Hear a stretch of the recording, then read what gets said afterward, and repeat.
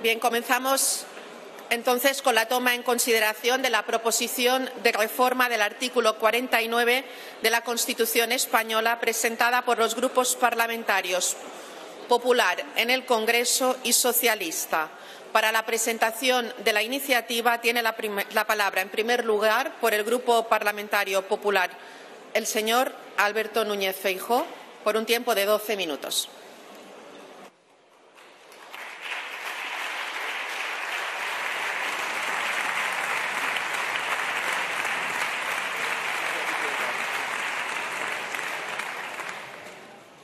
Señora presidenta, señoras y señores diputados, señoras y señores ministros, asociaciones a las que agradezco su presencia y su papel en este debate.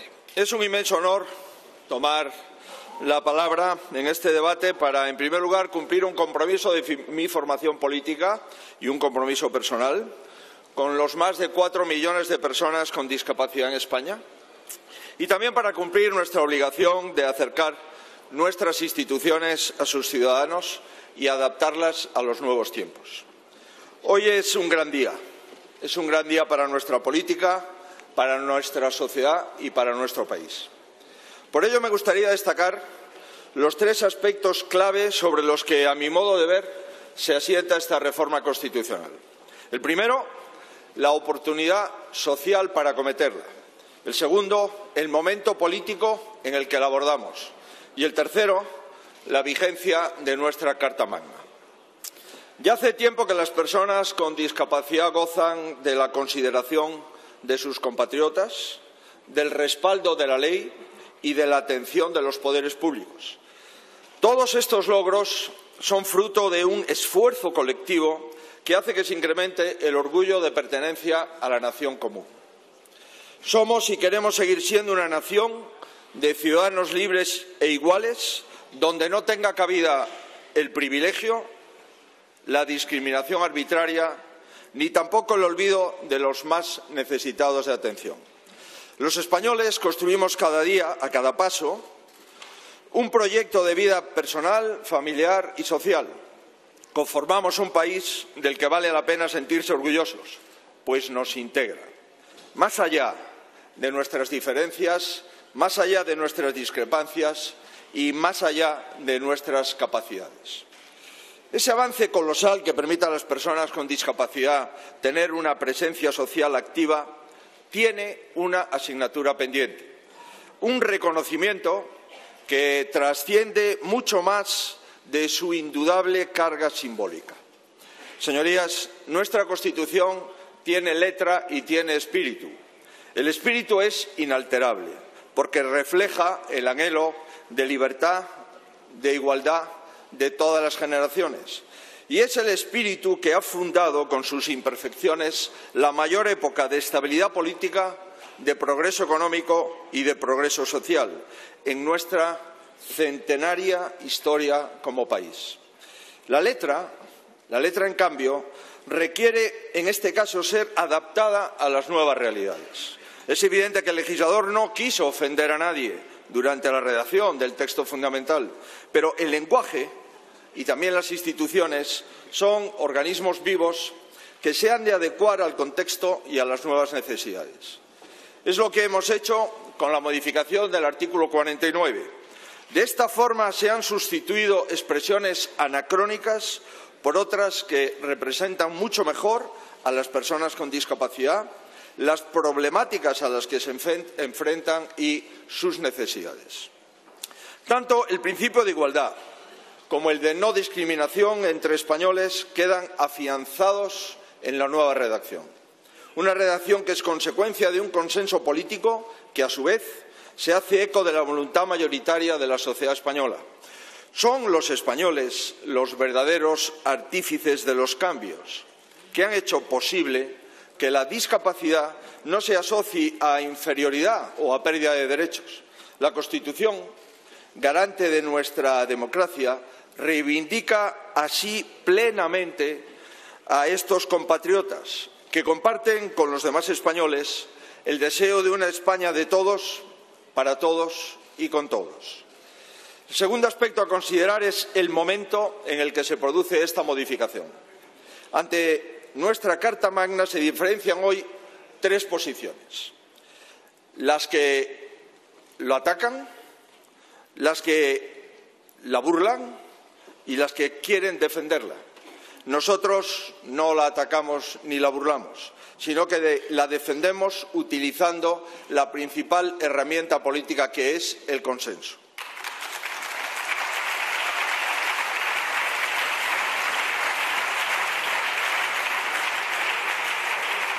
Con la misma intensidad que denunciamos y denunciaremos a los que pretenden destruirla, violentarla u olvidarla, estamos y estaremos dispuestos a recurrir al acuerdo cuando, en este caso, es necesario y responde a una demanda real y justa. La modificación que hoy traemos a las Cortes es modélica. Muchas gracias porque parte de una reivindicación social y de la cooperación con las asociaciones y porque adquiere forma de un acuerdo entre los dos grandes partidos al que todos los grupos están invitados. Ha habido una negociación honesta, un texto compartido y los informes preceptivos que avalan la modificación. Y además, porque contrasta con comportamientos que, por desgracia, son frecuentes en la política nacional de hoy. Esta reforma no pretende consagrar ningún privilegio, sino tratar con justicia a un colectivo tan importante de nuestra sociedad. No viene impuesta por una minoría que quiere suplantar a las mayorías, sino que es fruto de un consenso mayoritario. No se elabora con opacidad, sino con transparencia. No nace del deseo de erosionar la ley de leyes, sino con la vocación de fortalecerla. Y no produce desconcierto o indignación, en gran parte de la sociedad española, sino aplauso. En lugar de debilitar la democracia española, la estamos afianzando. Este es el cambio que debemos y el camino que debemos de emprender para conseguir grandes reformas y para forjar consensos. Estoy convencido de que si mantuviésemos esta voluntad durante más tiempo, esta reforma no sería un oasis en el desierto de la crispación que algunos han elegido. Sobre la tercera y última de las reflexiones, cabe preguntarse ¿Por qué este colectivo de españoles ha mostrado tanto empeño durante tanto tiempo en que la Constitución reflejase nuestra realidad? Y la respuesta es tan sencilla como aplastante. Porque le dan un gran valor a la Carta Magna como origen de toda legitimidad democrática. Porque entienden que un derecho enmarcado en la Constitución obliga a los poderes públicos y es una defensa contra la arbitrariedad. Y porque se sienten así protegidos por la Constitución, la misma que les ha permitido innumerables avances en las últimas décadas y que les seguirá acompañando en la que aún tienen pendientes. Y hacen bien en sentirse así. Es así como deben sentirse todos los demás españoles y españolas que ven en la Constitución un puente entre todos ellos y no un muro que nos separa. La Constitución se hizo para derribar muros y tender puentes. Gracias a esta modificación, este puente es más amplio y podemos estar más orgullosos de nuestra obra colectiva. Nos han pedido que reformemos la Constitución porque la sienten vigente y hoy, gracias a la reforma, estará todavía más vigente.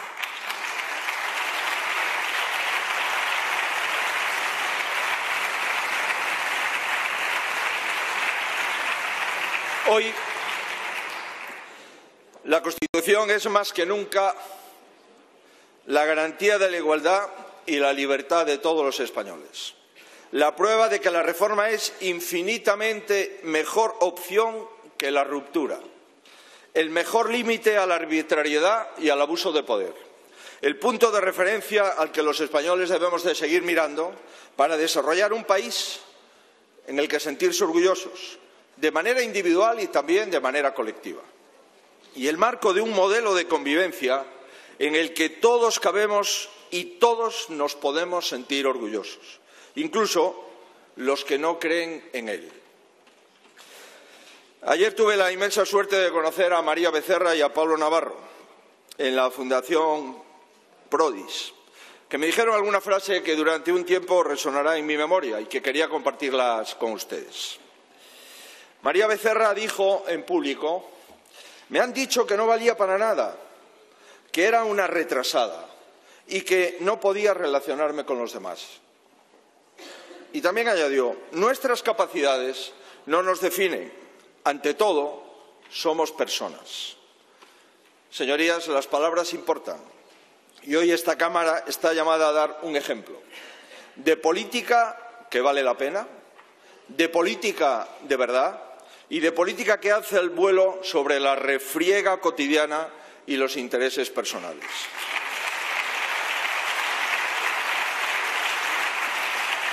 Esta reforma es una reforma, en nuestra opinión, pertinente, necesaria, adecuada y prometida. Se ha dilatado única y exclusivamente por la tentación de algunos de usarla como excusa para abrir debates que nada tienen que ver con las demandas de las personas con discapacidad, para sacar ventaja de la debilidad del Gobierno actual y para aprovechar una vez más la amplitud de miras de nuestra Carta Magna para intentar debilitarla. Hoy no solo tengo el honor de tomar la palabra, sino también de ser el primero en hacerlo en representación de mi grupo. Y me permito pedirles en sus intervenciones, en las de todos, que no caigamos en la tentación de persistir en este error. Se equivocará quien vuelva a usar este debate como pretexto para sus agendas partidistas. Se equivocará quien use este gran consenso para volver a agitar su voluntad de confrontación, se equivocarán quien vuelva a usar la posición que le otorga la grandeza de nuestra Constitución para intentar poner en cuestión la propia Constitución. Hace muchos años que me dedico a los intereses generales, con especial atención a los ámbitos social y sanitario. Y ello me ha dado la gran oportunidad de tener contacto con infinidad de asociaciones, de participar en muchas convocatorias públicas de empleo, de poner en marcha iniciativas en la atención a quien más lo necesita y de nombrar a personas con discapacidad en altos cargos de los que fueron mi gobierno. De contar también en mi partido con personas como Mar Galcerán, que creo que hoy nos acompaña, hasta donde yo sé, la primera y única diputada española con síndrome de Down.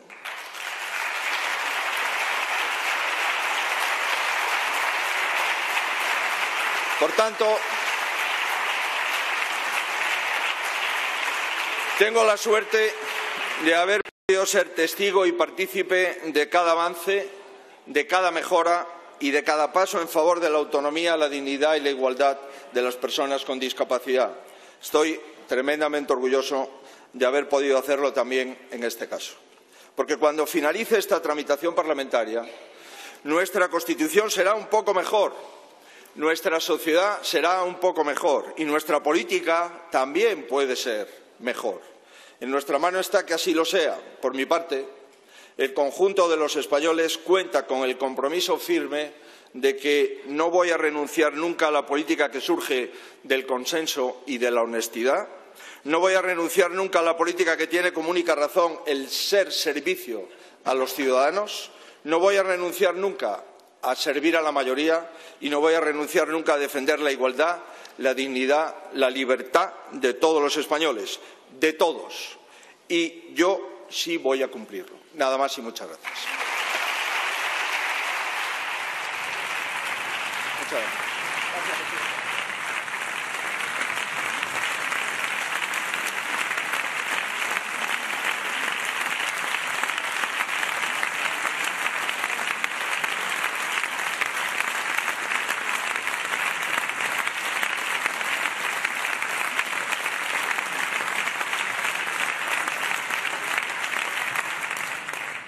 Muchas gracias, señor Feijóo. Por el Grupo Parlamentario Socialista tiene ahora la palabra el señor Sáez Cruz, también por un tiempo de doce minutos.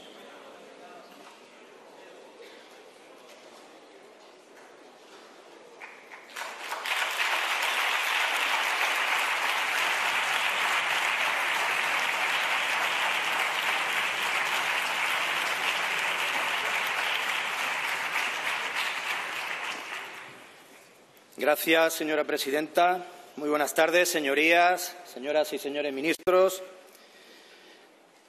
Hoy es un día histórico. no solo porque vamos a modificar nuestra Carta Magna, sino porque hoy se hace justicia con las personas que tienen algún tipo de discapacidad en nuestro país. En la actualidad, en España, más de 4.300.000 personas conviven con algún tipo de discapacidad. Y la Organización Mundial de la Salud reconoce que un 15% de la población mundial la tiene. Es decir, 1.200 millones de personas en el mundo. Triplica a la población de la Unión Europea y casi equivale a la población de China. Por tanto, pongamos en su justa medida la importancia de lo que hoy presentamos a esta Cámara. La discapacidad nos afecta a todas y a todos, porque a lo largo de nuestra vida no estamos exentos de adquirirla o conocer su realidad a través de nuestros familiares o de nuestros seres queridos. El artículo 49 de nuestra Constitución dice que los poderes públicos realizarán una política de previsión, tratamiento, rehabilitación e integración de los disminuidos. Disminuidos, un adjetivo muy importante, señorías. Nos identifica ante los demás, tiene un peso legal y también posee un importante valor simbólico. Aunque no lo elijamos, un adjetivo nos define, ya que nos representa ante los demás. De ahí la importancia de que sea digno y justo, porque de lo contrario contribuimos a perpetuar estereotipos y clichés que en la mayoría de los casos son peyorativos. Una palabra es poderosa, sí, señor Feijó, es poderosa, lo comparto, para bien o para mal, y me explico. Permítanme que le hable de manera sucinta de mí.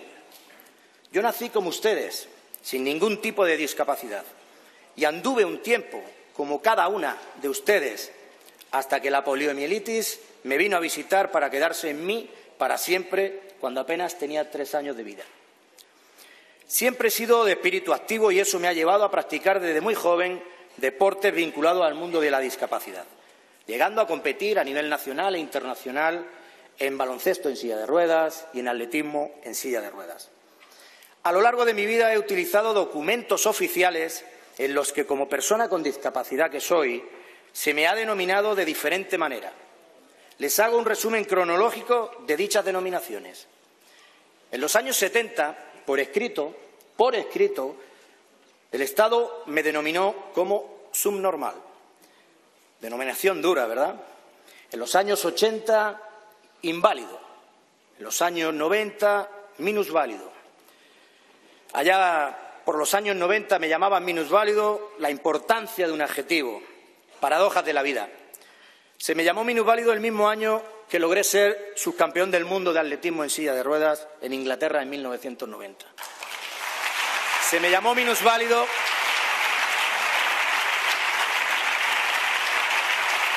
Se me llamó minusválido, minusválido en la misma época en la que bajé de las dos horas en una maratón, en la maratón de Nueva York. Y también se me llamó minusválido en la época en la que tuve el honor de representar a mi país como deportista paralímpico en Barcelona 92. Inválido, minusválido, menos válido. Probablemente muchos de los presentes salgan a correr de manera habitual, pero ¿cuántos de ustedes son capaces de bajar de las dos horas tras recorrer los 42 kilómetros que tiene una maratón? Disminuido. Disminuido, disminuido. El término disminuido creen que es el más apropiado para definir a Van Gogh, que aunque tuviese epilepsia y trastorno bipolar.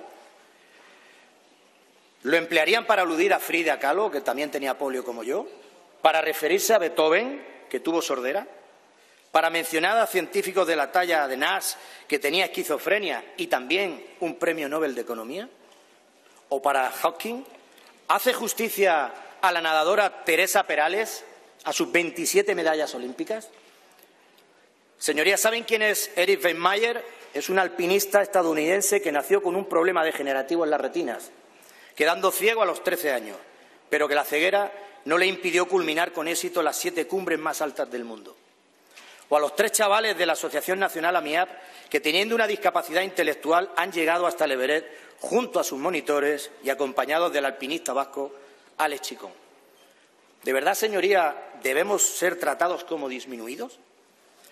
Siguiendo con la cronología, fue con la llegada de los años 2000 cuando se nos empezó a denominar como discapacitados y tuvimos que esperar hasta el año 2008, año en el que España aceptó la Convención de Naciones Unidas sobre los Derechos de las Personas con Discapacidad, para que se adoptara este término que finalmente quedará reflejado en el artículo 49 de nuestra Constitución, si así, como deseamos, sale adelante esta proposición de reforma constitucional que hoy presentamos los grupos parlamentarios del PSOE y del Partido Popular para su toma en consideración. Hasta hoy identificamos a este colectivo con la expresión disminuidos, terminología muy retrógrada en nuestra realidad social y jurídica actual. La expresión correcta que utiliza nuestro ordenamiento actual y aceptada como válida por el propio sector y por la Convención de las Naciones Unidas es la de personas con discapacidad. Esta reforma da respuesta a una demanda de la sociedad civil y es fruto del empeño y la exigencia del movimiento social de la discapacidad, liderado por el Comité Español de Representantes de Personas con Discapacidad, el CERMI, a los cuales saludo hoy en esta Cámara y les doy las gracias por la encomiable labor que hacen.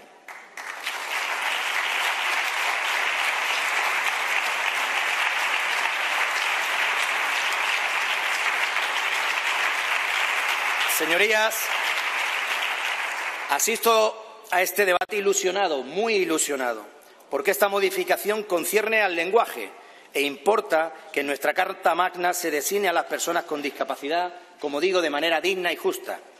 Pero también es esencial por lo que supondrá, pues se recogerá explícitamente que las personas con discapacidad tendrán el derecho constitucional de exigir a los poderes públicos políticas que garanticen la plena autonomía personal y la inclusión social, expresamente en entornos universalmente accesibles atendiendo particularmente las necesidades específicas de las mujeres y los, menores con discapacidad. De ahí la importancia que tiene esta proposición de reforma constitucional. Hoy echaremos abajo una barrera más para alcanzar la tan ansiada igualdad y también nos dignificará como sociedad porque las palabras que empleamos importan.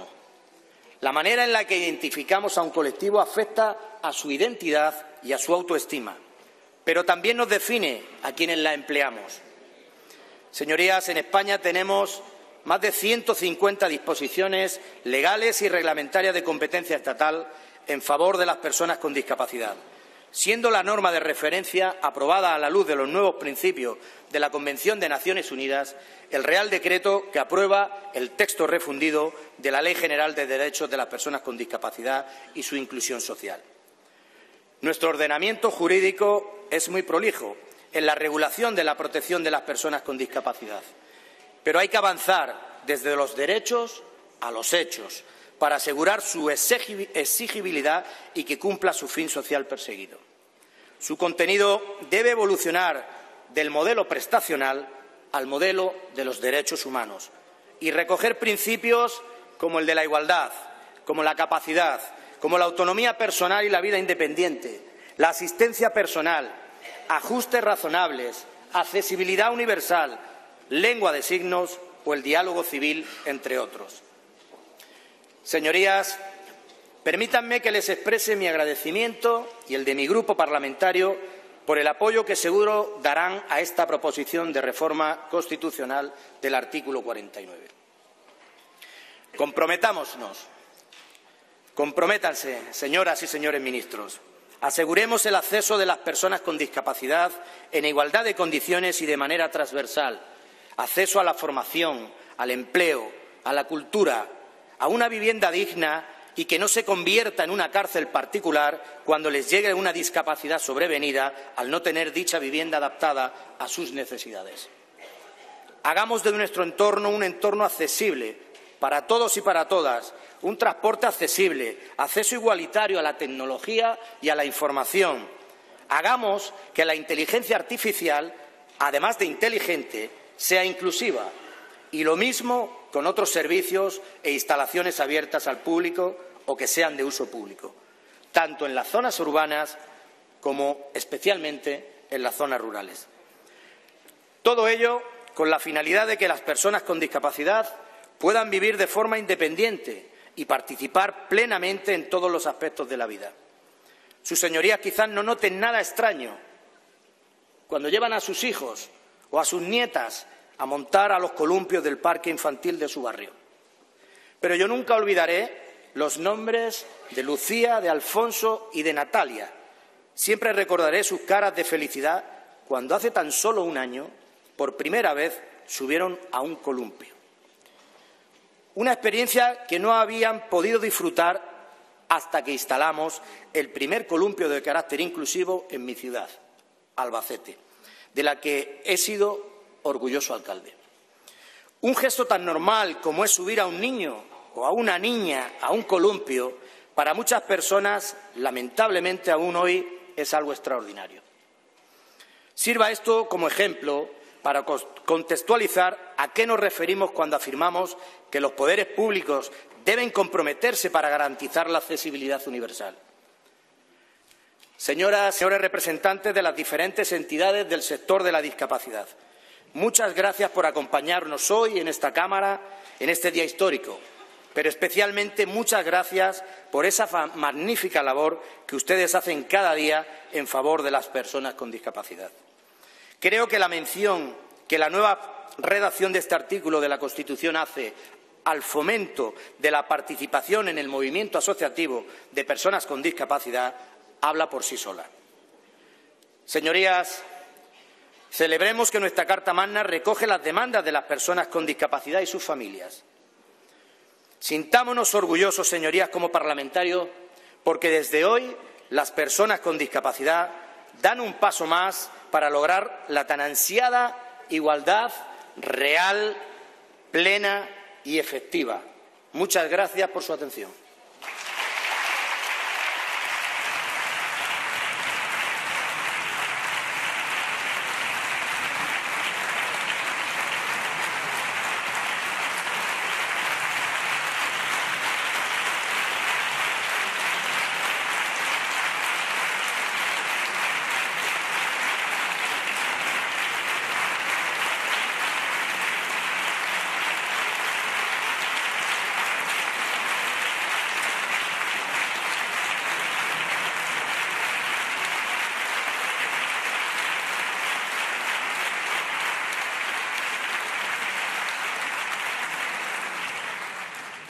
Muchas gracias, señor Sáez. Intervienen ahora los grupos parlamentarios en turno de fijación de posiciones. En primer lugar, por el Grupo Parlamentario Mixto tiene la palabra el señor Catalán Higueras por un tiempo de dos minutos.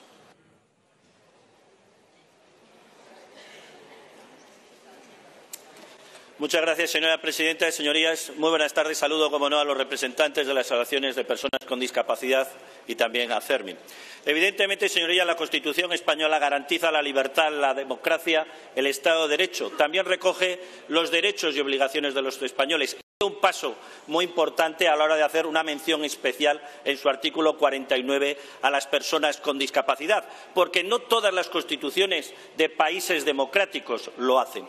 No tenemos tampoco ninguna duda de que el legislador en su momento lo hizo teniendo en cuenta las dos consideraciones que había ese momento y, sobre todo, tenemos muy claro que lo hizo con total y absoluta buena voluntad. Hoy, después de los avances conseguidos, hoy, después de tener como referente a la Convención sobre los Derechos de las Personas con Discapacidad de Naciones Unidas, se actualizan los términos recogidos en nuestra Carta Magna y se hace desde el punto de vista de Unión del Pueblo Navarro a la hora de manifestar nuestro respeto, la justicia, el compromiso y la solidaridad con todas las personas con discapacidad de nuestro país, más de cuatro millones trescientos mil españoles. Esta es una reivindicación de colectivos, de asociaciones, de familiares, de personas que viven directamente la discapacidad. Hoy se quiere actualizar unos términos obsoletos e inadecuados y buscar otros más eh, adecuados y, sobre todo, más justos. Se quiere, además, aprovechar la oportunidad para eliminar eh, cuestiones y especificaciones ya anacrónicas superadas. Desde Unión de Navarro lo hacemos por el compromiso a la hora de dignificar a las personas con discapacidad. Esperemos que sean unos términos que perduren en el tiempo y que no haya que actualizarlo dentro de unos años. También esperemos que no haya ninguna discriminación en el propio colectivo en razón del sexo o de la edad.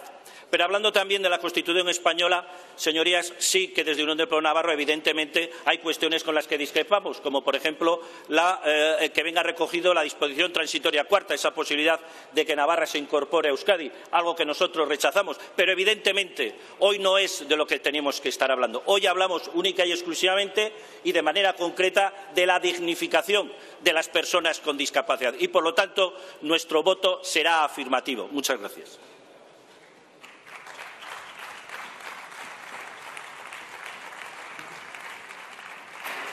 Muchas gracias, señor Catalán. Tiene ahora la palabra el señor Ruego Candamil, también por un tiempo de dos minutos.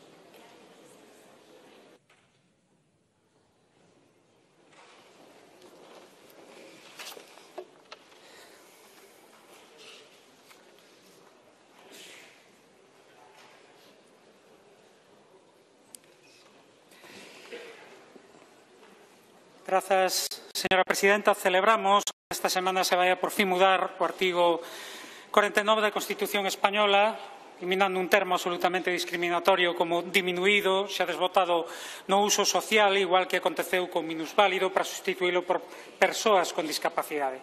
Ninguén vale menos, ninguén ten por que diminuir nin o seu valor como ser humano nin a súa chega á sociedade en función de circunstancias físicas, psíquicas ou sensoriais, como se dicía no texto constitucional. Mais, claro, se ficarmos aquí nesta mudanza terminolóxica, pouco facemos e pouco faremos. O que é necesario son políticas públicas que garantan dereitos e igualdade real.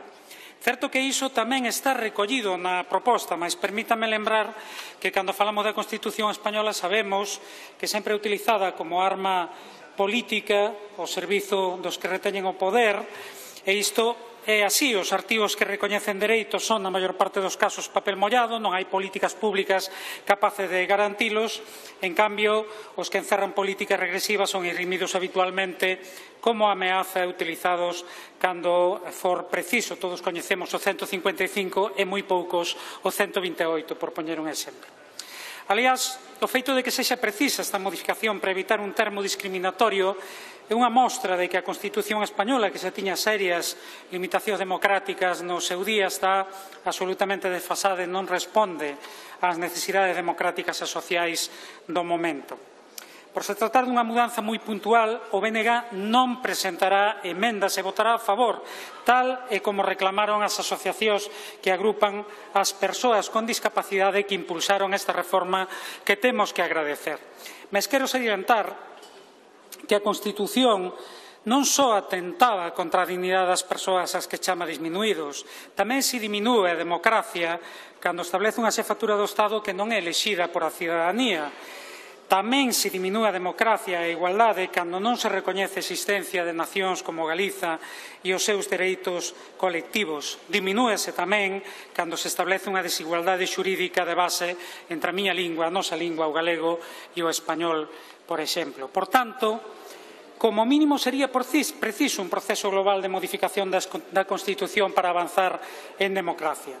Claro que, como forza soberanista, o BNG defende que a solución verdadeiramente democrática sería un proceso constituinte que garantise a Galiza capacidade de decidir de maneira soberana e o exercicio pleno de todos os dereitos tamén para as persoas con discapacidade. Entre tanto, como avanzaba, votaremos a favor da proposta por xustiza e por responsabilidade coas persoas discapacitadas. Moito obrigado. Muchas gracias, señor Ruego. Tiene ahora la palabra la señora Santana Pereira por un tiempo de tres minutos.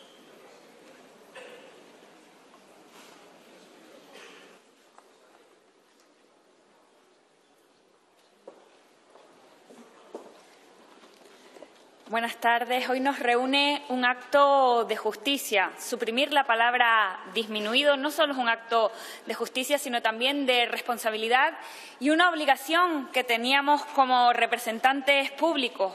No hasta hace mucho tiempo se podía leer en prensa titulares vergonzosos tales como una joven subnormal de 15 años vive atada a un limonero o uno de cada 600 nacidos es mongólico. Es realmente terrible la discriminación que han tenido que sufrir y que aún sufren las personas con discapacidad en nuestro país. Hasta el término discapacidad corta alas, corta alas a personas que son diversas, diversas como, como lo somos todos, con sus potenciales y también con sus dificultades. Votaremos que sí a esta reforma y lo hacemos porque queremos ampliar derechos, pero también porque es importante el lenguaje, son importantes las palabras, las palabras son arietes del cambio. Y cambiar el término disminuido y utilizar lenguaje más inclusivo nos ayuda a superar cárceles mentales. Esta reforma nosotras entendemos que no es suficiente. Hay que poner especial foco en la atención a la discapacidad por parte de las administraciones públicas. Obras son amores y no buenas razones. Debemos implementar medidas y políticas públicas tal cual nos están pidiendo los distintos colectivos relacionados con el ámbito de la discapacidad y de la dependencia. Porque aún resuenan en mi cabeza las palabras del señor Mariano Rajoy en su época más austericida, cuando decía aquello de la dependencia es inviable. ¿Recuerdan? Es muy bonito, es muy bonito, señor Feijó, ponerse de acuerdo con el Partido Socialista para eh, traer esta reforma de la Constitución. Probablemente en el IBEX estén celebrando con champán la vuelta de los pactos del bipartidismo. Es muy bonito, pero fueron las ministras de Podemos las que revirtieron los recortes que hizo el señor Rajoy de, más de ocho mil millones de euros en el ámbito de la dependencia. Quitar la palabra disminuido está bien, pero queda mucho por hacer. Hay que hablar de los trámites que hay que facilitar para obtener la discapacidad, de la plena integración de las personas con discapacidad, especialmente de los niños, de las niñas, de las mujeres, de las personas LGTBI, que son doblemente discriminadas. Regular la figura del asistente personal y garantizar la financiación para poder hacer bien nuestro trabajo.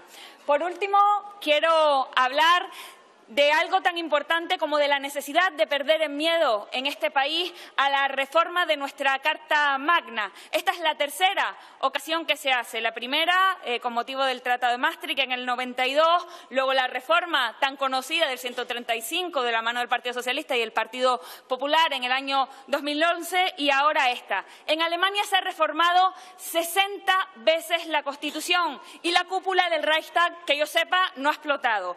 Por lo tanto, señores, tenemos que ponernos manos a la obra y adaptar nuestra Carta Magna a los nuevos tiempos. Y además eso lo debe refrendar, lo debe votar nuestra ciudadanía. Muchas gracias. Muchas gracias, señora Santana. Por el Grupo Parlamentario Vasco PNV tiene la palabra el señor Legarda Uriarte por un tiempo de siete minutos.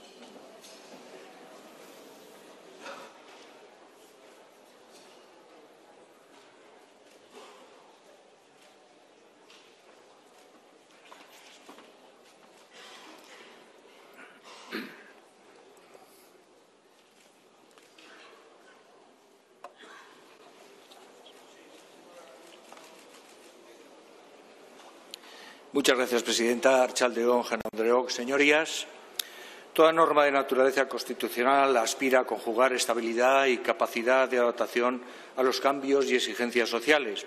Y ahora debatimos una iniciativa de reforma constitucional de los principios rectores de las políticas públicas para con las personas discapacitadas, cuya protección se considera manifestación concreta de la prohibición de discriminación que reconoce el artículo 14 de la Constitución y de la promoción de la igualdad a la que insta su artículo 9.2. Una iniciativa que propugna un cambio en el lenguaje, en la estructura y en el contenido, dando así un paso en clave exclusiva de ejercicio de derechos de las personas con discapacidad en condiciones de libertad e igualdad reales y efectivas, así como en clave de políticas públicas garantistas en relación con la plena autonomía personal, su inclusión social y entornos universalmente accesibles en idénticas condiciones al resto de la ciudadanía. Sin embargo, también tenemos que señalar que este desajuste del texto constitucional con la que se llama Concepción Social y de Derechos de las Personas con Discapacidad, impulsada por la Convención, como se ha dicho, de 2006, no ha impedido su recepción en el ordenamiento jurídico español merced al juego de los artículos 10.2 y 96.1 de la Constitución tras la ratificación en 2007 por España de la Convención de Naciones Unidas del 2006, permitiendo de este modo la evolución de todo el ordenamiento jurídico en esa nueva intelección de las personas con discapacidad y que también ha supuesto la transformación y adecuación a la nueva realidad social y jurídica del mismo significado del artículo 49 de la Constitución, pues aun sin cambiar su redactado se le atribuye un significado distinto. Por ello, ahora, señorías, solo quedaría por hacer, y lo apoyaremos, la consagración formal de la mutación de significado material ya operada en el artículo 49 de la Constitución. Y más, consideramos por una cuestión de urbanidad, de buen modo constitucional y, por supuesto, de atención a las demandas de la sociedad civil en torno a las personas con discapacidad y sus familias, que, como se dice en la memoria, para permitir que la Constitución sirva de punto de apoyo de la evaluación de estos derechos en el futuro, aspecto ya realizado materialmente en nuestro ordenamiento jurídico, pues, como les decía, la mutación del significado del artículo 49 de la Constitución ya está producida. Ahora bien, señorías, y no obstante nuestro apoyo a la iniciativa, sí quisiéramos realizar alguna consideración respecto a los cambios terminológicos de la reforma, trayendo aquí la reflexión del periodista Ares Grigelmo sobre el efecto dominó de lo políticamente correcto consistente en que toda palabra delicada que sustituya a otro o a otra que se desprecia como ofensiva acaba, volviéndose ofensiva transcurridos unos años. En definitiva, si bien el lenguaje políticamente correcto en el tema que nos ocupa supone ciertamente la búsqueda de la empatía con lo que se nombra, corre también ciertamente el riesgo de convertirse en una paradoja como la de Aquiles y la tortuga. Señorías, nunca alcanzaremos la palabra inmutable, ni siquiera en el medio plazo, lo que nos lleva a considerar, al menos a efectos teóricos, con carácter general, si resulta oportuno someter a la Constitución a este tipo de estrés lingüístico para adecuarla a los cambios terminológicos constantes que se producen para el nombrar de las personas, las cosas y las situaciones. Quizá como también se ha reflexionado estos días, ciertas palabras en sí mismo no afectan a la dignidad de las personas, salvo que la intención de quien las pronuncia, en la intención de quien las pronuncia, sí esté esta voluntad degradante.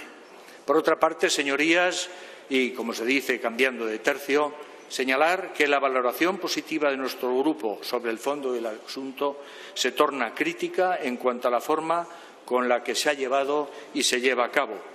Consideramos que la reforma de la Constitución no se debe llevar a cabo solo cuando el Partido Popular y el Partido Socialista lo deciden y solo sobre los aspectos que consideren, proponiendo al resto de grupos parlamentarios una suerte de contrato de adhesión, lo mismo que pasó, ya se ha citado, en 2011 con la reforma en pleno agosto del artículo 135 sobre los niveles de déficit y gasto público y deuda pública en las administraciones.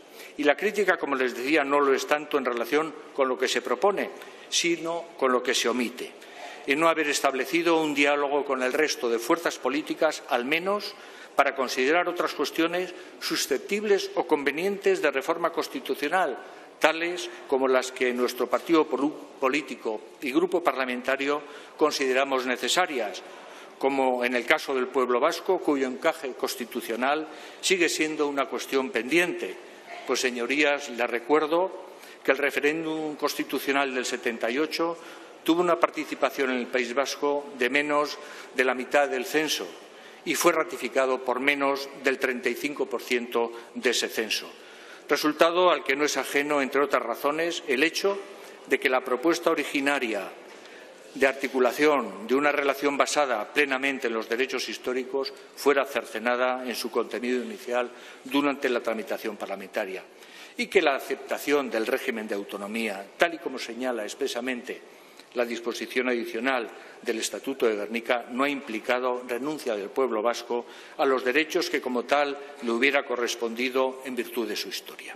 Cuestión central esta, como les decía, en que a nuestro partido político y grupo parlamentario les gustaría poder tratar de manera amplia y sosegada, pero que en esta ocasión ciertamente no será posible por lo angosto de la reforma que se ha decidido abordar. Por lo que, señoría, también les anuncio que, más allá de esta reforma constitucional del 49, también nosotros formularemos nuestra propia propuesta vía enmiendas en el estrecho margen temporal que nos concede la Cámara, respetando como es, es de rigor, las opiniones que otros grupos parlamentarios puedan tener sobre nuestras iniciativas.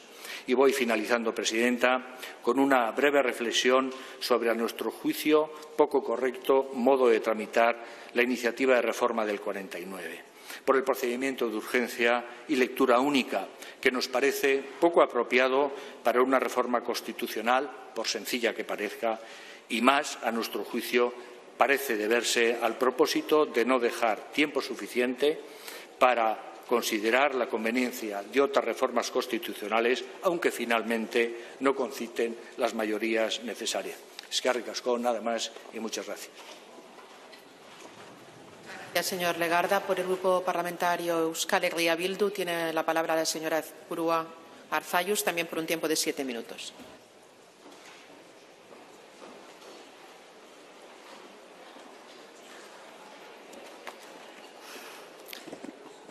Que presidenta. Buenas tardes. Señorías, las palabras importan. Importan siempre y en todo momento. Con las palabras, con el lenguaje, se puede insultar o congeniar. Se puede tender puentes o abrir abismos. Se puede construir barreras o eliminarlas. Con las palabras se puede integrar o marginar. Con las palabras se puede evolucionar y dar enfoques transformadores a situaciones de injusticia y se importan siempre y en todo momento, importan más en un texto legal. Y es claro que algunos términos habituales en un pasado lejano o no tan lejano resultan inaceptables hoy. Hablamos de palabras como disminuido, palabras anticuadas, inexactas, tan inexactas como dolorosas y totalmente inapropiadas que sirven para perpetuar imágenes sociales negativas y estigmatizar a personas o grupos. Este término disminuido que hoy nos trae aquí está incluido en el texto legal de la Constitución y sí, puede ser reflejo del tiempo en el que se redactó, pero como todo término que incluye un texto legal, tiene el poder de generar, restaurar o limitar derechos porque el verdadero poder de las palabras en una normativa resiste en esa capacidad de generar una idea colectiva que se introduce de forma natural en el imaginario social y que se convierte así en la forma para nombrar y considerar a personas, grupos o situaciones. Formas de nombrar que humillan, insultan y desprecian a la persona y que influyen en entender de una determinada manera, manera equivocada, a un grupo social. Términos que se mantienen en la cotidianidad y que duelen, duelen a las personas con discapacidades y a sus familias porque no se reconocen en ellas. Y hoy es, además de sorprendente que este término siga vigente, es también lamentable y vergonzoso. Y no para quienes así los denomina. Es vergonzoso, sobre todo, para la sociedad que lo permite. Que hoy, en 2023, en el siglo XXI, esta definición se mantenga en el artículo 49 de la Constitución es inasumiblemente vergonzoso. La referencia a disminuidos físicos, sensoriales o psíquicos es un agravio a las personas concernidas, es un elemento discriminatorio en sí mismo. Y, señorías, es más que cambiar una palabra, es cambiar el enfoque con el que está redactado el texto en cuestión. Se trata de redactarlo desde un punto de vista de los derechos humanos, de tomar a la persona como protagonista y no su discapacidad, es redactarlo bajo el prisma de la Convención de los Derechos de las Personas con Discapacidad, tal y como se presenta en la nueva formulación que se propone. Ahora bien, decía al principio que las palabras importan, pero importan también los hechos. Este cambio en el léxico es un primer paso importante y necesario Pero, como me dijeron representantes de las personas concernidas hace tan solo unos días, es solo un primer paso. Y no nos quedemos solo con este cambio, porque el artículo 49 dice también que los poderes públicos impulsarán las políticas que garanticen plena autonomía personal y la inclusión social de estas personas. Y esto, esto también es un camino que hay que transitar, en el que hay que avanzar y que está lejos de cumplirse. Palabras y hechos. Esto es lo que nos exigen las asociaciones que representan a las personas con discapacidad. Votaremos que sí a la toma en consideración de la modificación del artículo 49 y anuncio también que Euskal Herria Bildu no va a presentar enmiendas.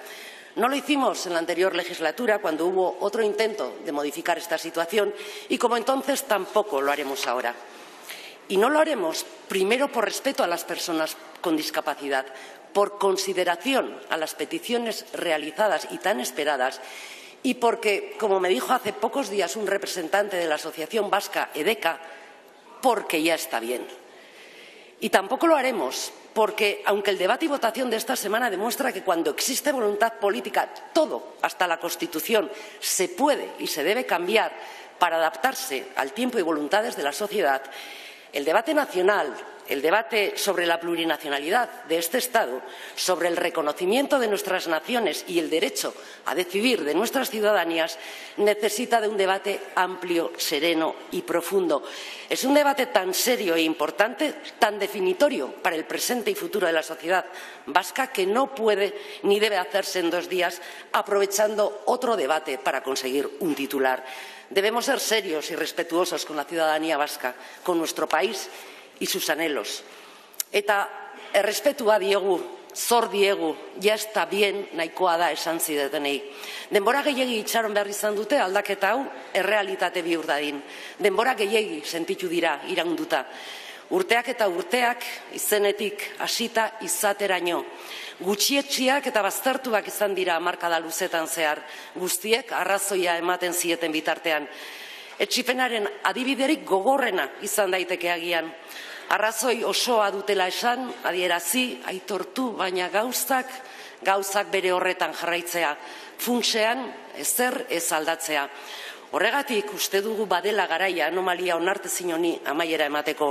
Beharrezkoa da aldaketa honi baiezko borobila ematea eta hala egingo dugu duintasunagatik eta ez soilik ez gaitasuna duten personen duintasunagatik, gizarte osoaren duintasunagatik baizik. Persona horiekiko errespetua onartzeko ezinbestekoa da haien presentzia publikoa hoi baino askoz positiboago izatea. Eta bide horretan hizkuntzak garrantzia handia du. Deiturak eta deitzeko erak errealitatean ondorio zuzenak dituelako izena eta izana lotuta doaz sarritan eta deitura txar batek duintasuna kaltetu dezake. Kasu honetan bezala, are gehiago konotazio negatibo bat ematen delako eta konotazio horrek izaki infraumano gisa estigmatizatzen dituelako. Beraz, espero dugu osteguneko bozketa ezgaitasuna duten personen izena erreparatu eta izanaren aldeko neurrien abia puntua izatea. Ongietorria izan dadila konstituzioaren erreforma hau urte gehiegi igaro behar izan direlako argia ikusteko. Ez zait iruditzen hemen esan den bezala abagune historiko baten aurrean egon gaitezkenik. Diskriminazioak eta egin beharrekoak ez dira desagertuko ez gaitasuna duten pertsonen alde neurri sakonak hartzen ez diren bitartean. Legeak dioena betetzen ez den bitartean. Erabaki hau beraz ez da ez zeren amaiera, baina gutxienez, gaurtik aurrera ez gaitasuna duten pertsonak, pertsona bezala aitortuak izango dira. Ongietorria izan bedi, beraz, eragoztenik gabe, eta gure aldetik behintzat, zuzenketari gabe, zor diegu, eta mila esker.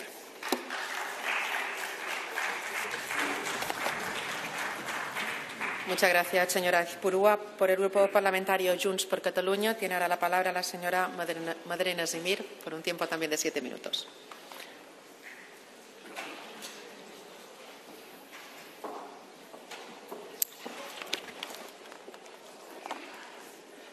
Moltes gràcies, senyora presidenta, senyors ministres, senyories.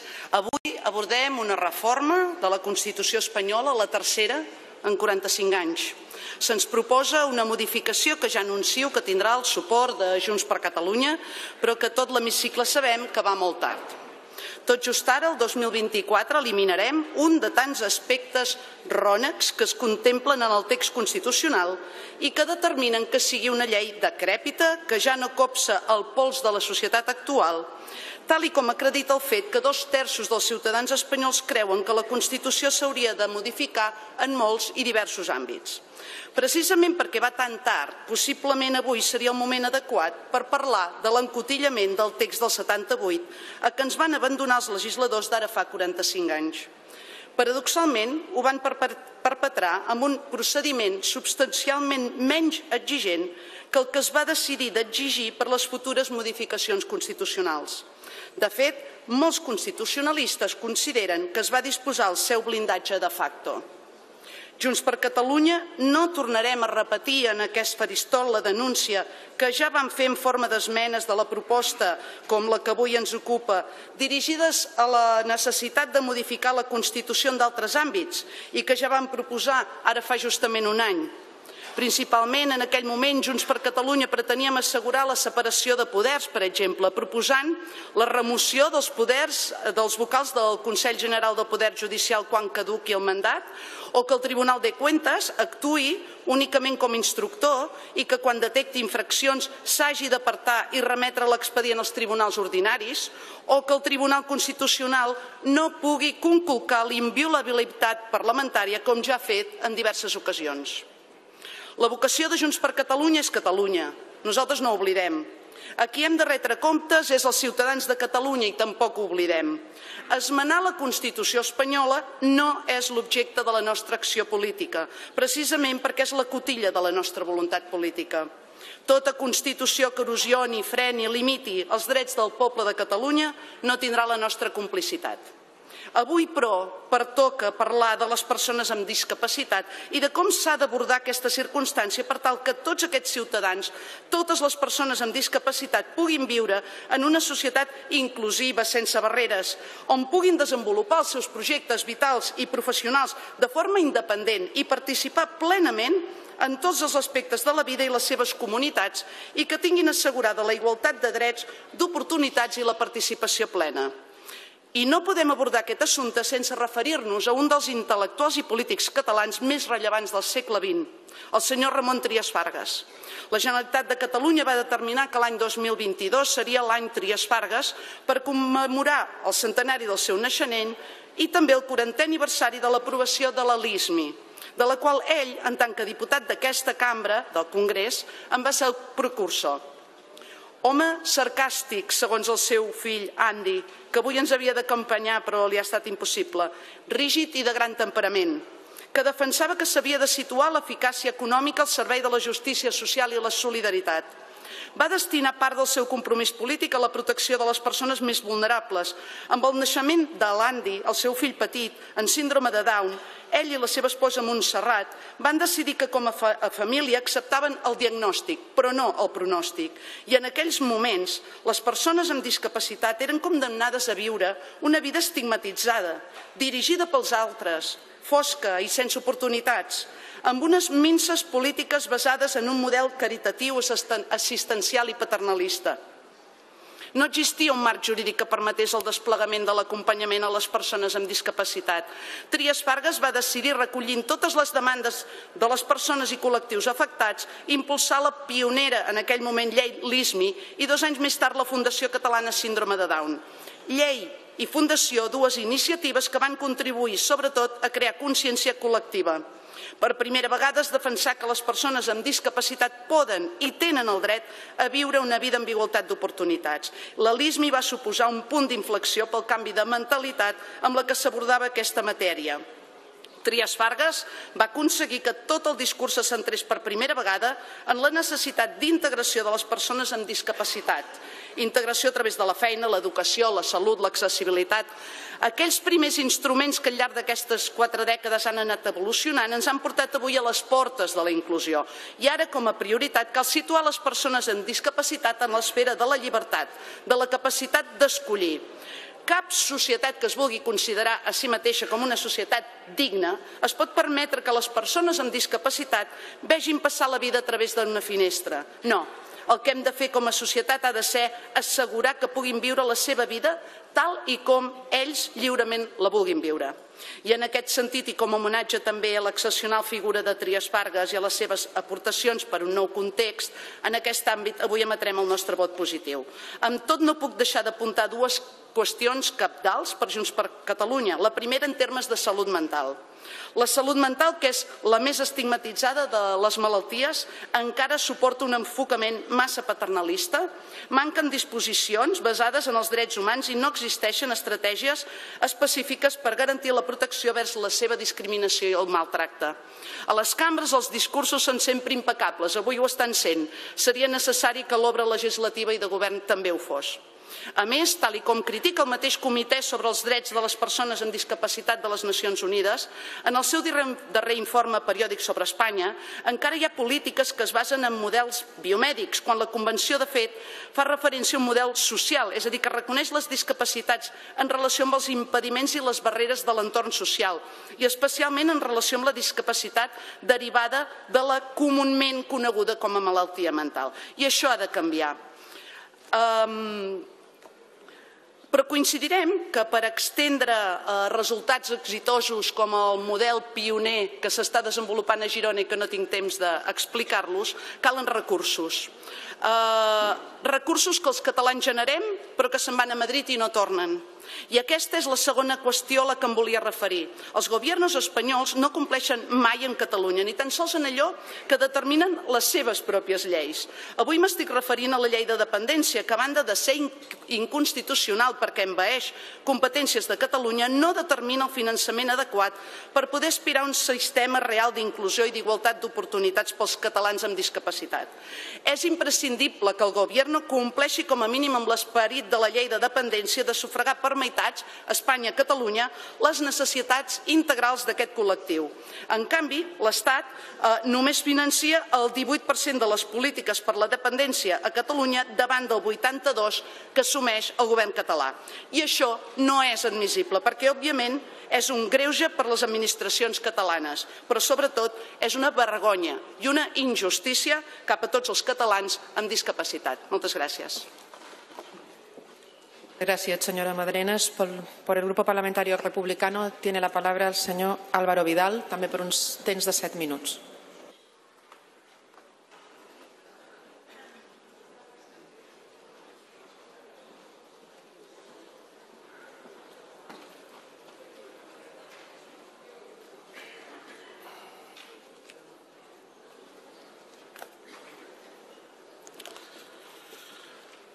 Presidenta, ministres, eh, senyories, persones de les entitats i associacions vinculades al sector, bona tarda. Avui procedim a reformar en un aspecte la Constitució del 78 i ho fem amb una finalitat molt clara i concreta i sentida especialment per la societat i per moltes entitats, compartida, com veiem, per la majoria de grups d'aquesta cambra. Nosaltres, els avanço, el grup republicà, votarem a favor. Estem parlant d'un tema que té a veure directament amb la dignitat de les persones. Estem parlant de dignitat, d'igualtat, d'equitat, però també estem parlant de llibertat. De llibertat en un sentit pràctic i concret, però profund alhora. De llibertat efectivament realitzada cada dia. Estem parlant, ja s'ha dit, però voldria remarcar, de justícia com correspon a la societat del segle XXI, més enllà de les incerteses que vivim. No podem oblidar l'herència humanista ni l'herència il·lustrada, malgrat el llegat terrible del segle XX, justament perquè tenim en el retrovisor la història, sabem que aquesta reforma, en el seu sentit profund, el que fa reforçar els drets de les persones i el respecte que mereix qualsevol ésser humà. Parlem, per tant, de l'acompliment dels drets humans en la seva màxima potència i de com fem més robusta, més robusta la vida col·lectiva, basada en el civisme, en l'empatia, en les cures compartides i en la fraternitat. Sí, la fraternitat, una paraula que fonamenta el naixement de la vida moderna i que hem de posar avui en aquest debat damunt la taula, fraternitat. En tots els gestos i en totes les dimensions de la nostra existència. Deixarem de parlar oficialment de disminuïts, afortunadament, i parlarem de persones amb discapacitat. L'article 49, com tants articles de la Constitució espanyola, va ser redactat en un context social i cultural molt determinat, que s'ha transformat, i això s'ha esdevingut de manera radical en molts temes. El que fem avui probablement pot passar en altres circumstàncies. El viatge paternalista i merament assistencial que desprèn aquell redactat és obvi que ha quedat obsolet. En aquest cas, com diem en català, el nom sí fa la cosa. Les paraules són importants i l'ús del llenguatge adequat afavoreix l'acceptació de la diferència i de la inclusió. Òbviament, senyories, vostès saben que canviar una paraula per si sol no canvia la realitat, però el que cal entendre és que les modificacions en el lèxic assenyalen canvis de mentalitat i també la voluntat, la voluntat col·lectiva de transformar costums, inèrcies i maneres que han quedat desfasades. Recordo, i és una anècdota personal, una paradoxa que tinc generacional i que comparteixo, suposo, amb moltes diputades i diputats d'aquesta cambra. Quan jo era jove, quan jo era petit, per televisió apareixien humoristes que feien broma, que feien burla de persones amb discapacitat i això ho tenim tots a la memòria. Per sort, això ja no passa. I recordo que en aquells temps vaig tenir l'enorme sort que l'escola on vaig ser alumne, a l'escola de GB, l'escola Llevecs de Vilanova i la Geltrú, es va incorporar per primera vegada un noi amb síndrome de Down. Per mi aquella va ser una gran lliçó. L'arribada d'en Gabriel, aquell noi amb síndrome de Down, ens va demostrar a tots de manera pràctica que la inclusió es fa dia a dia i es treballa. Per tant, avui, fixin-se si fa d'anys d'això, fem el que és oficial una cosa que ja era real en mans de molts mestres i molts educadors avançats. La filòloga Lola Pons ho ha resumit molt bé en un article recent al País. Lo que ha ocurrido en el siglo XXI con el tratamiento lingüístico de la discapacidad es un cambio de paradigma radical, aunque desarrollarlo paulatinamente. La discapacidad ha dejado de ser un tabú lingüístico.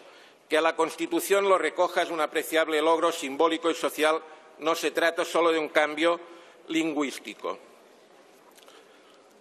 Amb aquesta reforma eh, donem resposta a una demanda, però no puc negar que s'hauria d'haver fet, senyors del PSOE i del PP, d'una altra manera. Ja ho han dit altres companys que han parlat, s'hauria d'haver fet millor. I sobretot perquè algunes malfiances partidistes van ajornar, van congelar això. I això és una pena que dinàmiques internes de partit hagin aturat això. Avui ens podem felicitar, però això ha estat escandalós. També hem de lamentar que quan arriba el bipartidisme i es posen d'acord vostès, senyors del PSOE i del PP, sembla que ens deixen de la resta de grups. I en aquest cas es podria dir amb una dita ben castellana, ha estat un bipartidisme de les lentejas, o les tomes o les dejas. Aquesta és la tercera reforma de la Constitució i totes les reformes de la Constitució semblen, com es diu en castellà, el parto de los montes. És un gran drama. Recordar una dada, entre els estats que van aprovar Constitució durant els anys 70, Espanya és la que ha fet menys reformes. Portugal, per exemple, n'ha fet 7 i Suècia n'ha fet 34. Realment no som suecs, no som portuguesos, curiosament.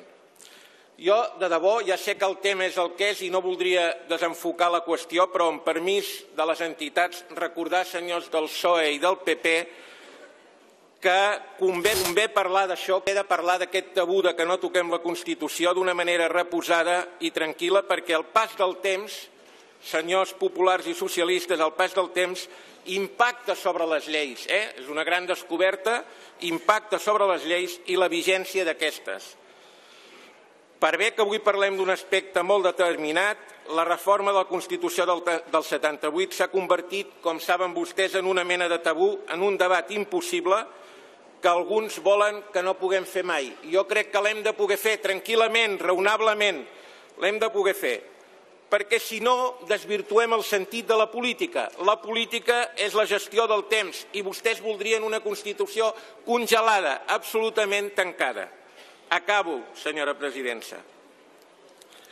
Reformar la Constitució només és un perill a ulls d'aquells que s'han proclamat autoproclamat vigilants de les essències, però va contra el sentit de la vida més concreta de tothom.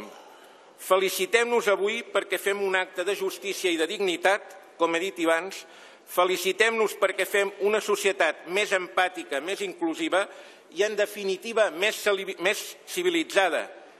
O ens ho proposem, si més no. És un intent. Moltes gràcies.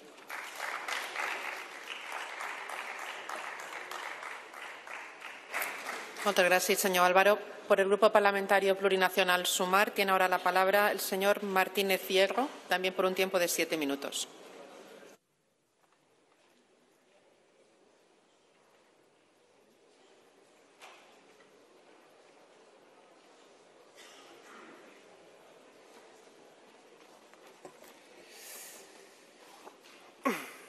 Bueno, León, gracias Presidenta, ministros, ministras, diputados y diputadas, representantes de la sociedad civil. En un día importante como hoy les voy a pedir que me dejen hacer una previa, ya que hoy hemos sabido que el Tribunal Constitucional anula la condena de inhabilitación del que fuera diputado Alberto Rodríguez. Se reconoce así una injusticia que nunca se debía haber cometido y que sentaba un precedente peligroso. Así que yo desde aquí quiero mandar, en nombre de Sumar, un abrazo a Alberto Rodríguez y a todos los votantes a los que se dejó sin representación.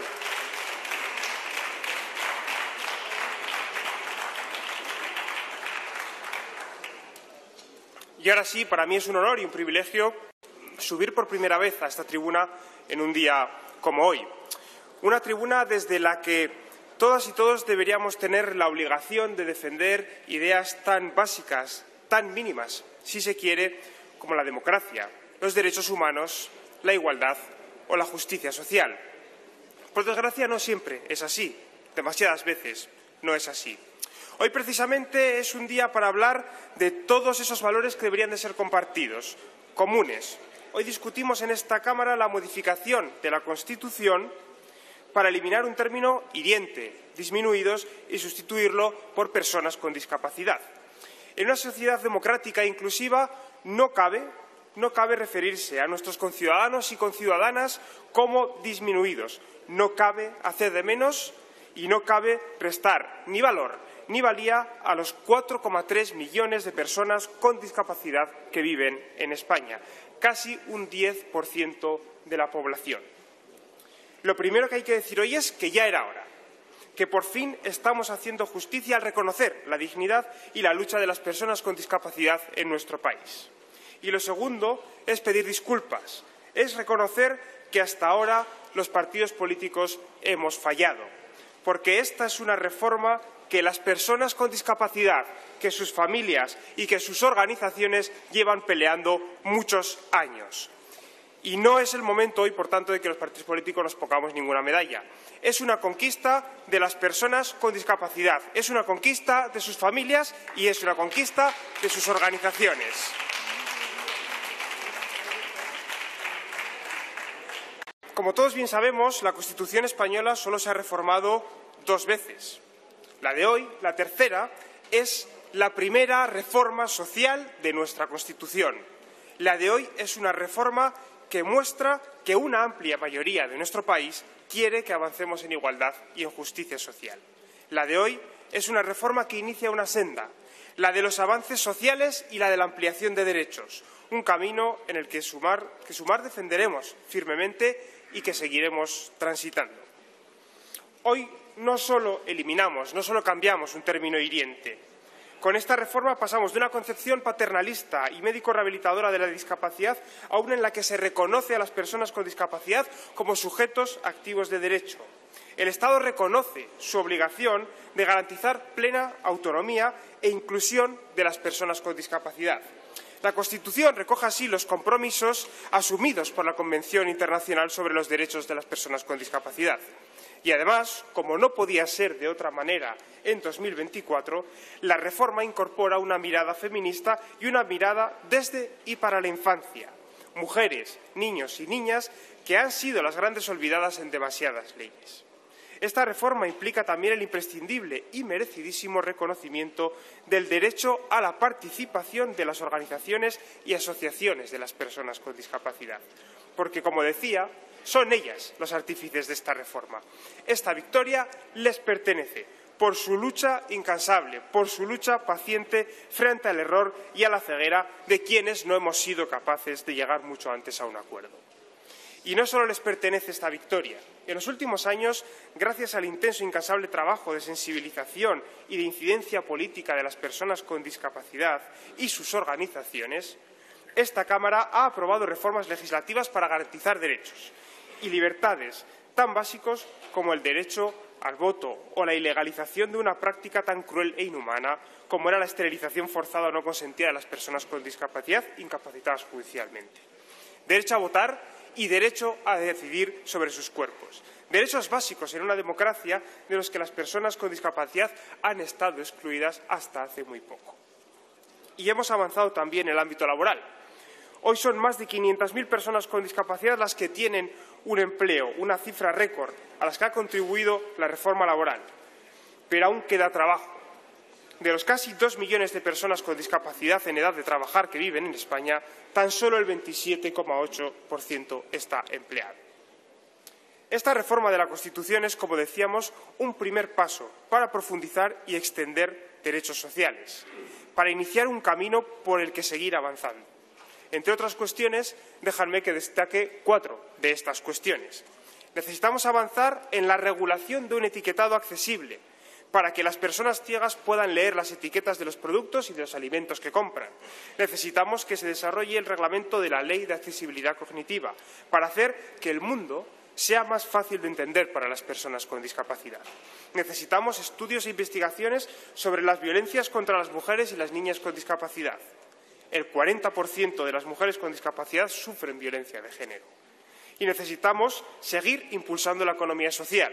Las empresas que trabajan en este ámbito son cruciales para el acceso al mercado laboral de las personas con discapacidad. Y, por último, este acuerdo debe tener un reflejo y un desarrollo presupuestario que garantice la aplicación de todos los derechos que obtienen las personas con discapacidad. Esta reforma podría haber mandado también un mensaje muy positivo, más positivo aún, el de que se pueden escuchar las demandas de las mayorías para lograr mejoras sociales, el de que se pueden lograr consensos para expandir derechos sociales pese al ruido y la crispación que intentan instalar algunos. Pero precisamente los especialistas en el ruido y la crispación, los especialistas en separar odio, los especialistas en negar la dignidad de los múltiples colectivos, no van a votar hoy a favor de esta reforma. Y no lo harán por incomprensibles razones de tiempo y formas, no lo harán con excusas peregrinas y, sobre todo, no lo harán porque anteponen siempre su ideología machista y reaccionaria al diálogo y al consenso. Ya lo sabemos, nos lo han demostrado en repetidas ocasiones, al atacar la democracia, al esparcir el odio contra las mujeres, el colectivo LGTBI o los niños y niñas migrantes. La ultraderecha se desmarca hasta de los consensos más elementales. La ultraderecha se opone a los derechos humanos y a la igualdad y dignidad de todas las personas. Y ya termino, Presidenta. Quiero felicitar de nuevo a todas las personas con discapacidad y a todas las organizaciones que llevan años trabajando para alcanzar este logro, este hito para toda la sociedad. Nos habéis demostrado que es posible modificar la Constitución para profundizar y para ampliar derechos sociales. Ese es el camino que debemos seguir recorriendo juntas. Ese es el compromiso y en ese nos encontraréis siempre a mí y a mi grupo parlamentario SUPAR. Es que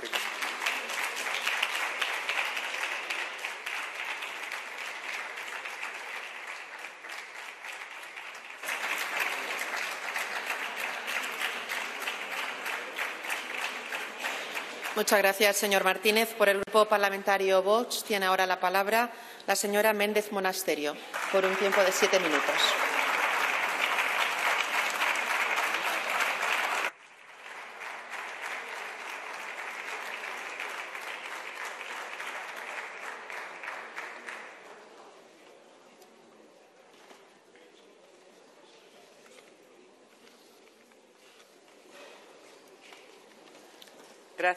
Señora presidenta.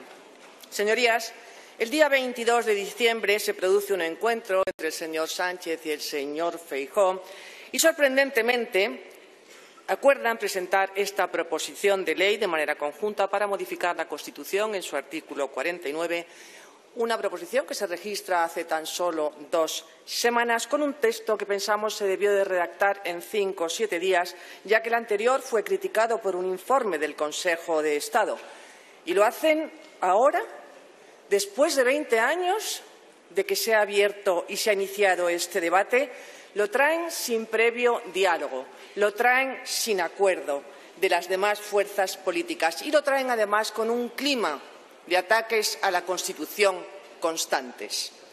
Traerlo ahora y de esta forma es realmente indigno, irresponsable e hipócrita. Señorías del Grupo Parlamentario Popular y del Grupo Parlamentario Socialista, ¿a ustedes les parece digno utilizar a las personas con discapacidad para sus fines partidistas? ¿Les parece digno utilizar como mercancía a las personas con discapacidad para sus fines que no son otros que blanquear la existencia de un continuo golpe a nuestro Estado de Derecho y teatralizar, teatralizar una supuesta normalidad? ¿Les parece digno aparentar una supuesta normalidad con esta reforma?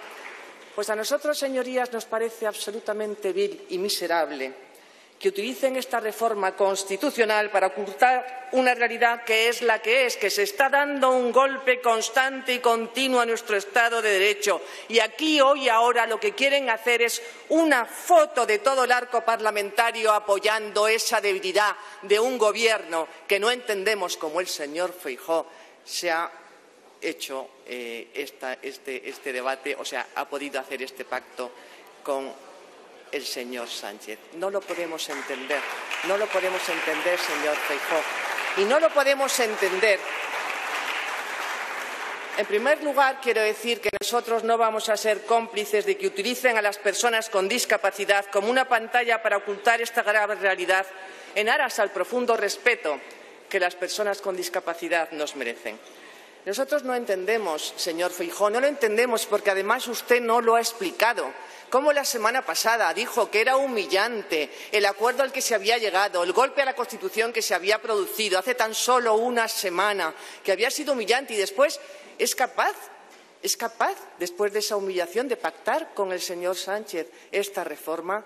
Porque, señor Feijóo, en su intervención usted no ha explicado, no ha explicado en absoluto por qué ha modificado su postura en tan solo diez días. Porque la enmienda que ustedes presentan al proyecto que se debate en la legislatura pasada sobre este mismo tema dicen exactamente lo siguiente. Una reforma de la Constitución exige de manera inexorable la combinación del espíritu de pacto y el sosiego político que se vivió en las Cortes Constituyentes, dos elementos de los que en este momento de gravísima crisis social y económica se carecen y con estas premisas una remodelación de la Carta Magna a día de hoy es imposible. Argumentaron amplia y contundentemente que no era necesario ni oportuno y en tan solo diez días ha cambiado de opinión con un clima absolutamente muchísimo más grave que el que existía hace dos años, con un clima de una crisis constitucional e institucional como no ha habido parangón. Señor Feijó, deberá explicarlo porque en su intervención no lo ha hecho y los españoles deben de saberlo. Señorías, Debemos considerar que el artículo 49 no establece un derecho subjetivo, sino que es un principio inspirador, por lo que a lo largo de 40 años se ha avanzado enormemente en la legislación a favor de las personas con discapacidad. También en la terminología, puesto que el término disminuido ya se ha superado ampliamente como era y como es de justicia por la legislación interna y, sobre todo, por la ratificación de la Convención de los Derechos de las Personas con Discapacidad. Gracias, señorías, sin duda, al empeño de las propias personas con discapacidad, al esfuerzo de sus familias, las asociaciones que las integran y los organismos constituidos al efecto cuyos representantes hoy nos acompañan y a los que reconocemos y felicitamos absolutamente por todo su esfuerzo. Estamos convencidos, señorías, que hoy nos acompañan, estamos convencidos que entenderán nuestra postura. Ustedes saben el tiempo todo el tiempo que hemos llevado haciendo políticas conjuntamente lo saben y lo conocen. Por lo tanto, deben de entender, y yo estoy convencida de que lo harán, la profunda tristeza que nos produce que esto se haya llevado en estas condiciones hoy y ahora y que no podamos de ninguna de las maneras nada más que abstenernos. Lo saben y sabemos nosotros que nos entienden. Señorías, una reforma constitucional requeriría de un diálogo previo y de un acuerdo y que se realice con sosiego, como se hizo en su redacción primera, y así podría votarse por unanimidad. Y serán ustedes, señorías, solamente ustedes los culpables de que nosotros solamente podamos abstenernos. Querrán acusarnos a nosotros de, de falta de sensibilidad, Querrán acusarnos, señorías, ustedes, que discriminan a los discapacitados incluso antes de nacer, porque ustedes aprobaron la ley de plazos en el año 2010, que supone un tratamiento absolutamente inaceptable de la consideración del menor valor y derecho a la existencia de las personas con discapacidad. Una discriminación, señorías, también denunciada por el CERMI, porque contraría la Convención Internacional ratificada por España en el año 2008, que obliga de manera expresa a los Estados partes, reafirmando el derecho inherente a la vida de todos los seres humanos, así dice la Convención, a adoptar todas las medidas necesarias para garantizar el goce efectivo de ese derecho por las personas con discapacidad en igualdad de condiciones con las demás. Sorprendentemente, señorías, el texto que hoy se presenta, quizá por las prisas, no se atiene a la realidad, ya que dice que las personas con discapacidad ejercen los derechos del título I, y eso no es cierto, porque se está vulnerando el artículo 14 de la Constitución, porque se puede abortar a una persona, a un ser humano con discapacidad, hasta el momento de su nacimiento. Es una hipocresía, señorías, que traigan hoy aquí esta reforma y que hayan impedido que se aprobara una ley de ELA porque supone 36 millones de euros. Es una hipocresía, señorías, que ustedes defiendan en este texto la autonomía y en algunos casos utópica, y que traigan hoy aquí esta reforma y que hayan impedido que se aprobara una ley de ERA. Es realmente hipócrita, señorías, que se traiga hoy aquí esta modificación alegando razones de justicia y este mismo partido en el Gobierno haya aprobado una ley de eutanasia que a quien más perjudica es a las personas con discapacidad. Es una hipocresía, señorías, traer hoy aquí esta modificación y haber votado en contra en todas y cada una de las iniciativas que ha presentado este grupo parlamentario, al que sí le importan las personas con discapacidad. Este grupo parlamentario que sí reconoce la dignidad intrínseca e inviolable de todo ser humano, defiende la igualdad en el ejercicio de los derechos fundamentales de todas las personas, desde la concepción hasta la muerte natural. Este grupo parlamentario que defiende la importancia esencial que para la comunidad tienen las personas con discapacidad. Este grupo parlamentario que cuando habla de derechos de las personas, luego no mercadea con esos mismos derechos. Este grupo parlamentario que en un momento como este, muy tristemente dice que basta ya de hipocresía y de irresponsabilidad.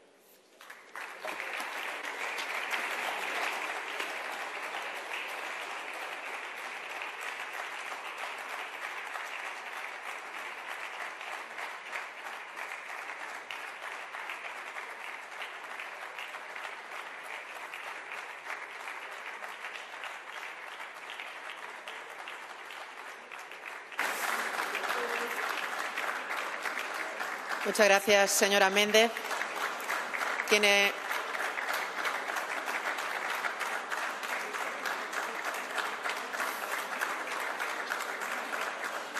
Tiene ahora la palabra, en nombre del Gobierno, el ministro de la Presidencia, Justicia y Relaciones con las Cortes, el señor Bolaños.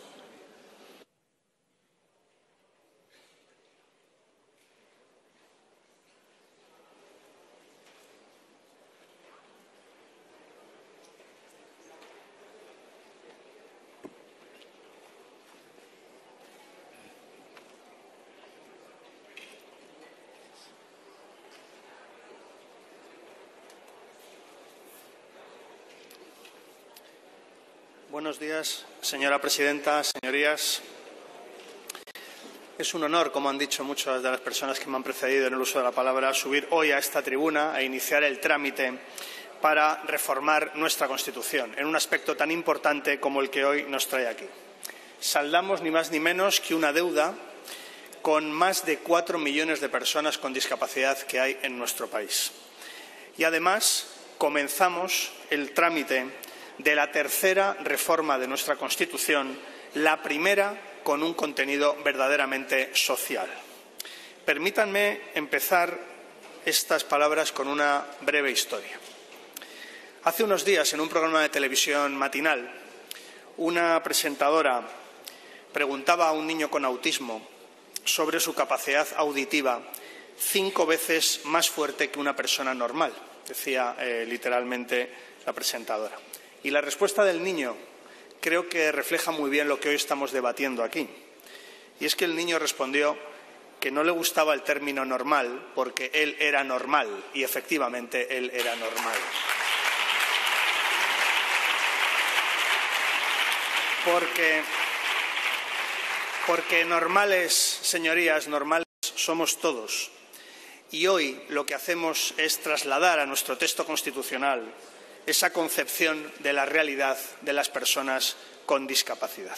Por eso es un orgullo hoy tomar la palabra en esta tribuna y es una de esas ocasiones en las que un servidor público se siente plenamente satisfecho del trabajo, del esfuerzo que ha realizado y del resultado que va a tener. Permítanme también una consideración previa respecto al texto constitucional vigente en nuestro país. Querría poner en valor nuestra Constitución. Hoy, porque precisamente hoy que la reformamos, la estamos mejorando y, por tanto, la estamos haciendo mejor. Pero nuestro texto, ya en el año 78, supuso un avance, supuso un impulso para las políticas para las personas con discapacidad. Recordemos que hablaba de políticas de previsión, de tratamiento, de rehabilitación, de integración de personas con discapacidad, aunque no utilizaba esta terminología. Utilizaba nuestra Constitución del 78 los textos internacionales que en ese momento estaban vigentes. Y reconozcamos que en 45 años, evidentemente, los textos, la realidad se ha avanzado, se ha adaptado y era necesario que nuestra Constitución refleje hoy los nuevos textos, las nuevas garantías y las nuevas realidades de las personas con discapacidad. Hoy llevamos a cabo la primera reforma social de nuestra Constitución. La acercamos a nuestra sociedad.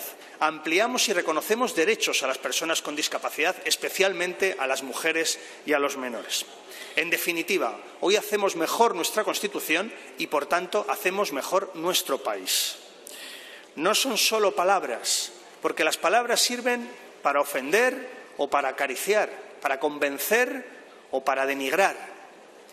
Es el vehículo por el que nos expresamos, el vehículo, la palabra, para ver el mundo, para ver cómo queremos que sea el mundo y para acabar dando forma a la realidad.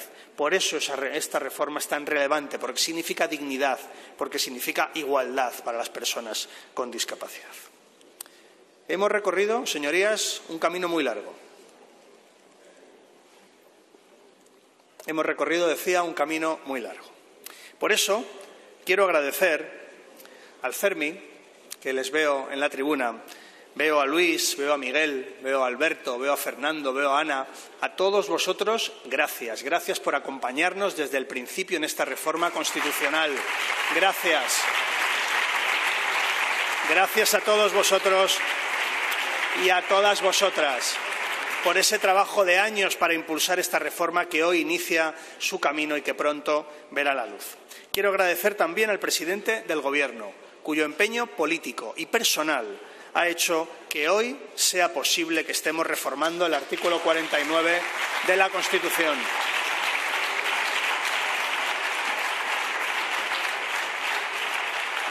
Y quiero agradecer al Gobierno en su conjunto, al Gobierno, desde luego, que nació en 2018 con un objetivo que era reformar el artículo 49. Y cuando digo el Gobierno en su conjunto, hablo del Ministerio de Derechos Sociales, de la Dirección General de Discapacidad, de la Secretaría de Estado de Relaciones con las Cortes y Asuntos Constitucionales, de todas esas personas, esos funcionarios y funcionarias que tanto han trabajado para que hoy la reforma del 49 sea una realidad, sea una realidad y sea un éxito porque es un texto que otorga más dignidad a nuestro país, que responde a una necesidad de la ciudadanía y para el que pido un apoyo unánime de esta Cámara para esta reforma del artículo 49.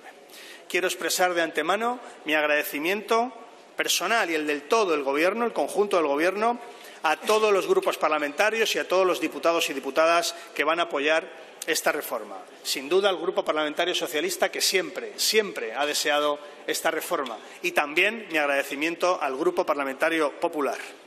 Este es el camino.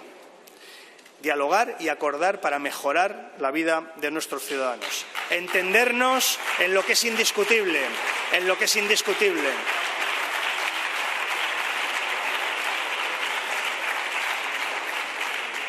Este es el camino, entendernos en lo que es indiscutible, en cumplir la Constitución y en reformarla para mejorarla también. Por eso hoy estamos tan satisfechos, porque vinimos a hacer política para esto, para trabajar para que nuestro país, para que España sea un país mejor, que sea más justo, más digno, más igualitario, con más oportunidades. Queremos que esta reforma tenga el mayor consenso posible. Lo va a tener. Las intervenciones que han realizado los distintos portavoces lo demuestran. Me gustaría, desde luego, nos gustaría que fuera el primero de los grandes acuerdos que esta Cámara tiene que alumbrar durante esta legislatura. Porque hoy estamos en uno de esos momentos que justifican una legislatura.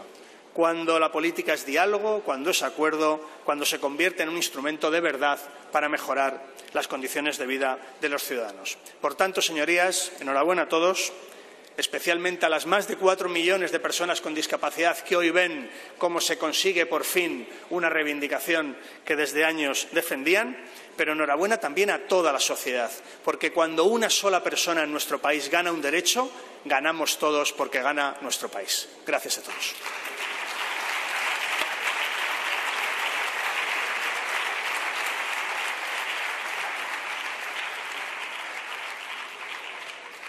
Muchas gracias, señor ministro. Pasamos ahora al punto segundo del orden del día relativo al acuerdo de tramitación directa y en lectura única